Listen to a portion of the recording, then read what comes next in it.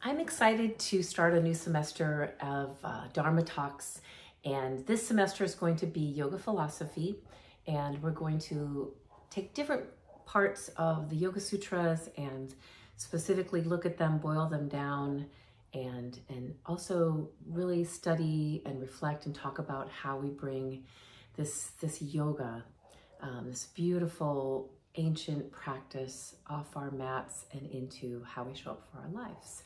So the very first um, philosophy of yoga that we're going to be studying comes from the Yoga Sutras by Patanjali, the second chapter, the 46th Sutra, Sthira Sukham Anasanam.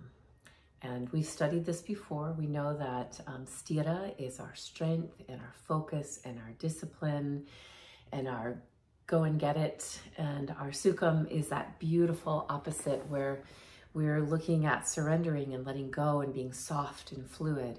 And within the asana practice, we we use that to um, find balance in our bodies, and we learn how to find balance in our mindset. And as well, we use the breath for both. And um, and so, if you join us for the Dharma talks, we're going to kind of just look at really understanding Sthira Sukham.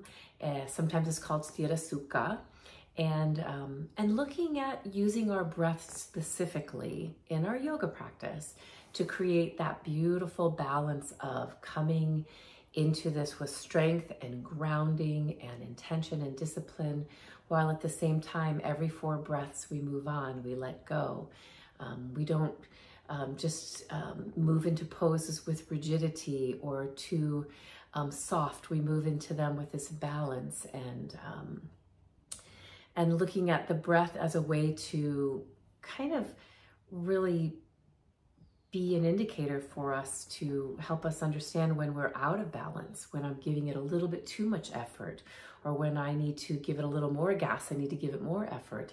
To use our breath to help us uh, modulate and to find that balance um, on our yoga mats. And then, of course, there's this invitation to take the breath practice and this mindfulness around this incredible sutra um, and, and really helping us look at and be more reflective in our lives of when we're doing something in our life where we're over efforting or under efforting and how we can pause in that space in between and kind of find does this need more sugar? Does this need more salt?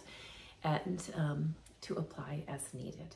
So join me this week as we um, look at our breath and we look at ways of finding more balance, more yin, more yang, more ha, more tha, um, sympathetic and parasympathetic, marrying these two together and, and continuing to work and practice towards balance.